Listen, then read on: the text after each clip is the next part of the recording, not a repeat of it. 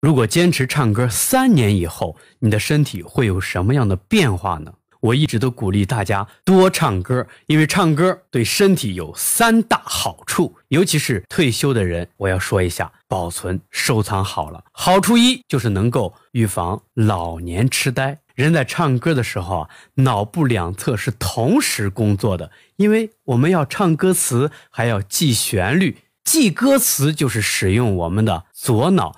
而音乐和旋律就会刺激到右脑，所以呢，每天开动大脑，老年痴呆就会靠边站了。好处二是能够预防高毛压和动脉的硬化，因为唱歌要用到我们的深呼吸啊，这能充分运用什么呼吸肌肉的收缩功能，嘶嘶嘶，哈哈哈，促进新陈代谢。好处三。就是能够改变我们的心情，增加感情。你在唱歌的时候，大脑会产生兴奋的一种状态，特别亢奋。它能促进啊我们的这个抗压能力，可以让我们大脑和身心呢都感受到轻松、愉快，而且能促进催毛产素的分泌。分泌越多的人，就越能关心家人和爱护他人。让彼此的感情增进，让家庭更加的和睦。唱歌不比抽烟喝酒强吗？